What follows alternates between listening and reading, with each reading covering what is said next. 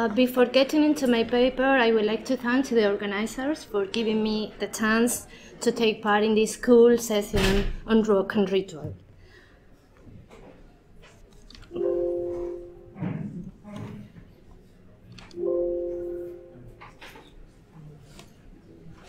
Ah, okay.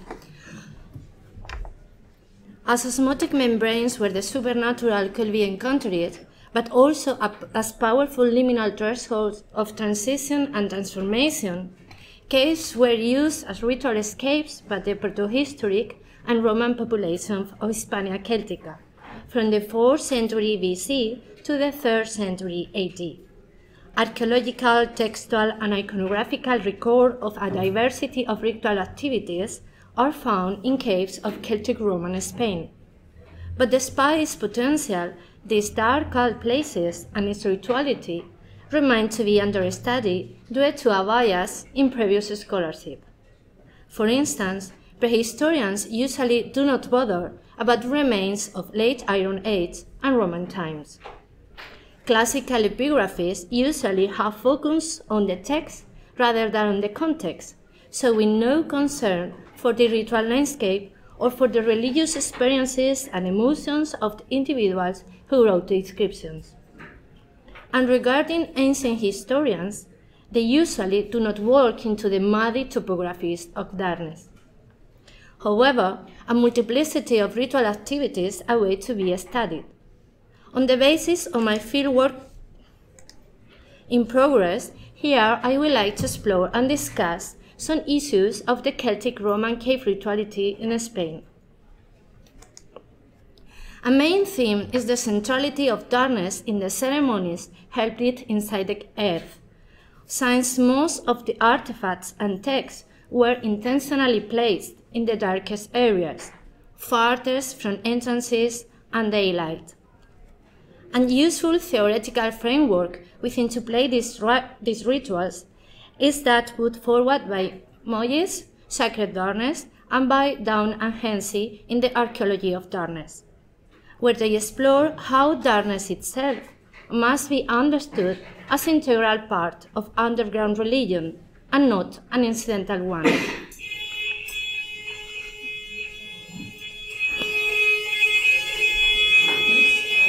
what? what shall I do?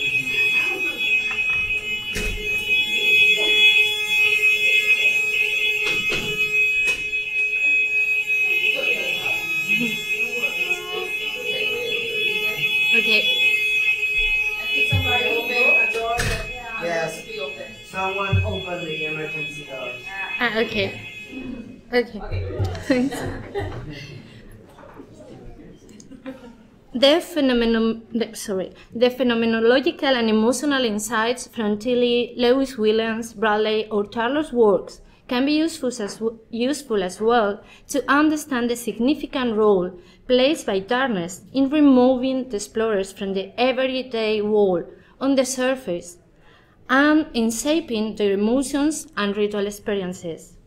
Moreover, we know that in Roman antiquity, darkness and underground places worked both in terms of sensory emotional experience and in terms of symbolism, with complex metaphoric meanings such as death, dwelling of evil powers, otherworld, fertility, shelter, etc. But in the past, the caves also were thought and lived as liminal thresholds to be crossed to enter in a different, extraordinary escape. Actually, walking into and through the dark cave has effects on senses and emotions. Disorientation, lack of time, of time reference, isolation, sensory deprivation. In the vacuum of darkness, self experience is intensified promoting then religious sensitiveness. In these um, rock osmotic membranes where the supernatural could be felt and faced. In fact, Groenen has spoken of the fearsome presence of unseen powers lurking in the dark of the caves, who can appear, blur, and disappear in a reality continually in flux. Since the light sources available to Celtic Roman explorers, mainly tortoises, were constantly moving and creating dynamic interplays of light, shadows, and darkness. Therefore, darkness itself is the landscape context of the ritual and is per se an integral part of the religious activity that took place in um, Spanish caves. In fact, although these caves vary in shape and size, and in the nature of the rituals carried out there, there is a consistent ritual use of the darkest chambers of the caves. This location implies that the participant took a difficult journey into the dark to encounter the supernatural powers.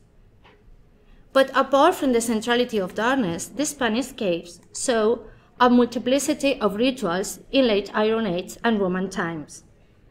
Not being possible to go into further detail of every cave of Spain where Celtic Roman rituality is recorded, I want to discuss at least several of the ritual practices attested there.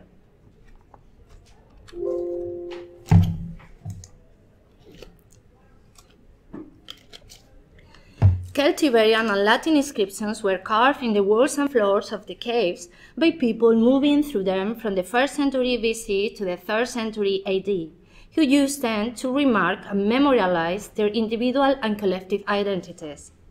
For instance, the majority of the Latin texts from the Cave of La Griega are not theonyms of ritual formulae, but personal names. Some of them were carved in different zones of the caves but it's difficult to know if they were made by the same person in a single journey or in several trips or by individuals with the same name at different times.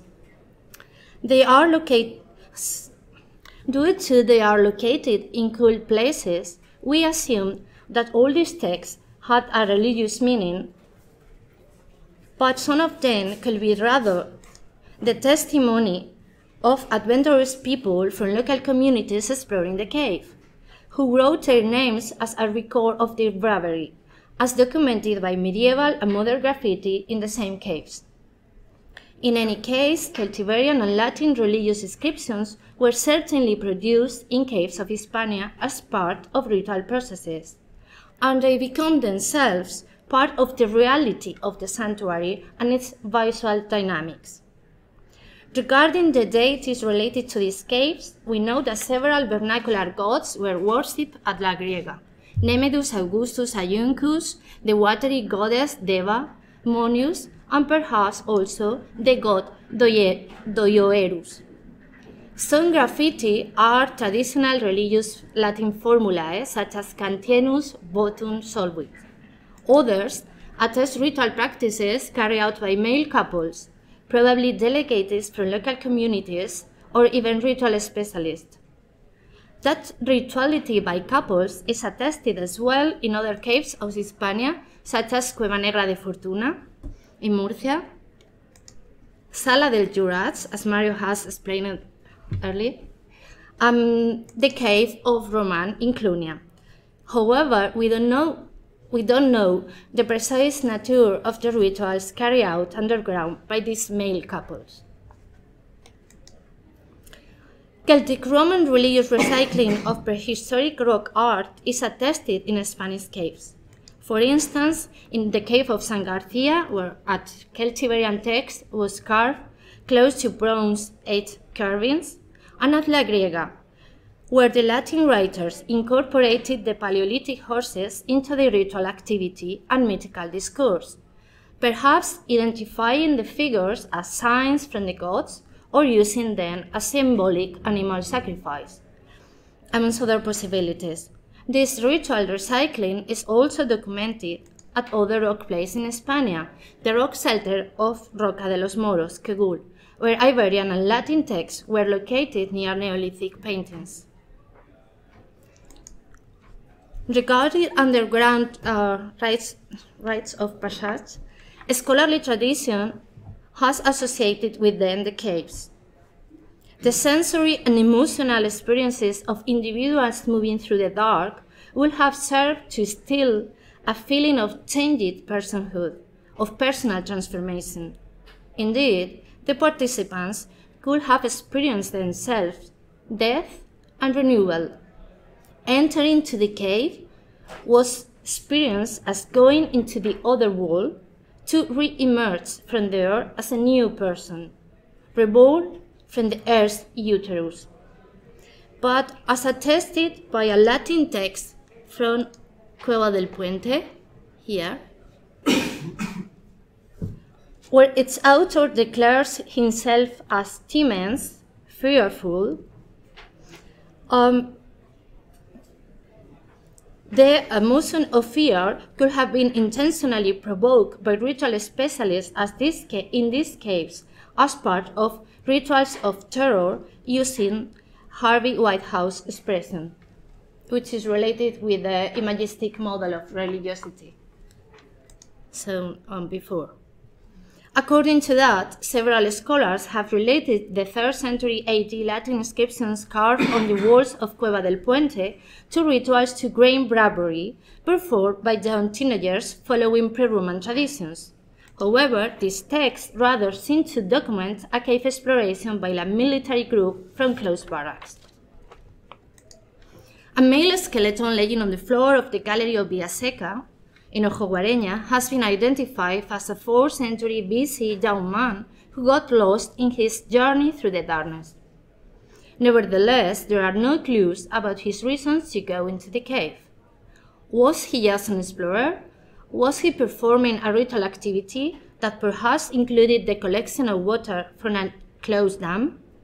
Did he die in situ, or was he intentionally buried here by his contemporaries? There is another possibility that this skeleton actually belonged to a prehistoric burial, and that the 4th century BC fibula and belt found near the bones were Iron Age offerings. This ritual manipulation of prehistoric skeletons in caves is also attested in Cofresnedo Cave, where late Iron Age weapons were located close to a Bronze Age skeleton. Another example of the diversity of rituals carried out in dark escapes of Celtic Roman Spain is the performance of ritual activities inside mines. Dealing, dealing with the harsh experience of digging under constant threat, miners address it to local chthonic deities in order to placate them and to ensure their protection through ritual practices, which included offering of tools, pottery, metallic items, coins, and altars, such as this one um, from Los Osedo or this altar from the cave of El Valle. The Latin inscriptions, carvings, and figurines found at the Cave of Roman are part of the rituals performed under the Roman city of Clunia from the 1st to the 2nd century AD. Several texts sorry. Several texts document math therapy on male genitals and perhaps on eyes and feet too. And the clay heads and penises could be anatomical vota related to, to this healing sanctuary. But, it, but there is not clear evidence about the ritual processes. Although identified as a pre-epic as a priapic sanctuary, the current published data make it impossible to understand its dynamic or even identify the gods worshipped there.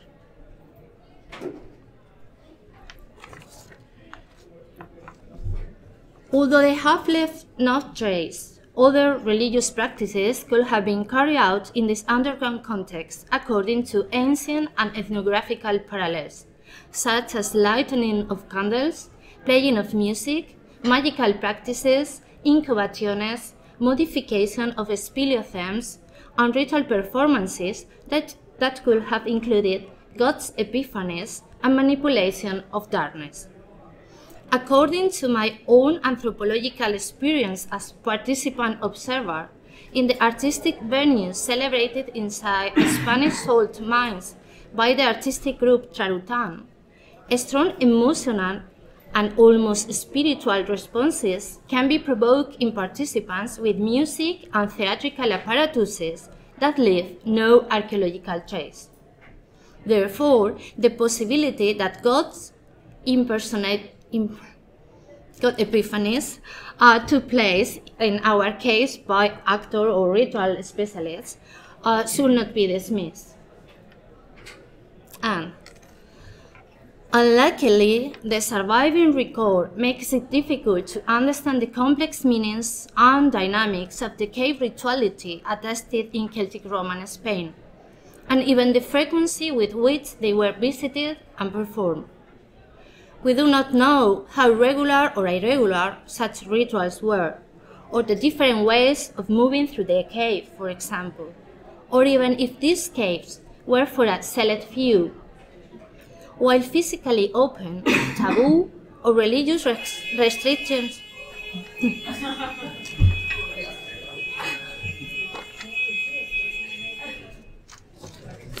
don't provoke the gods of the underworld. Um, sorry. We don't know if these caves were for a select few, uh, while physically open, taboo, or religious res restrictions related to age, gender, social status, religious wisdom, or specific ritual functions may have, may have meant they were off limits for the majority of the population. Actually, the low presence of women epigraphically attested in this case is stunning only three women among almost 200 tests by male.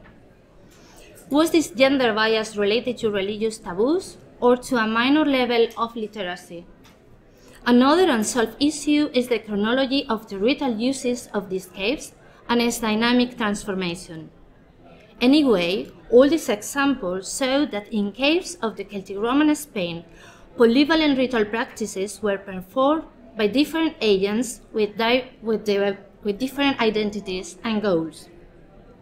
However, more fieldwork, modern theoretical approaches, and new lectures of inscriptions are compulsory if we want to enlighten the potential of these rock scapes and its rituals for understanding Celtic Roman religions.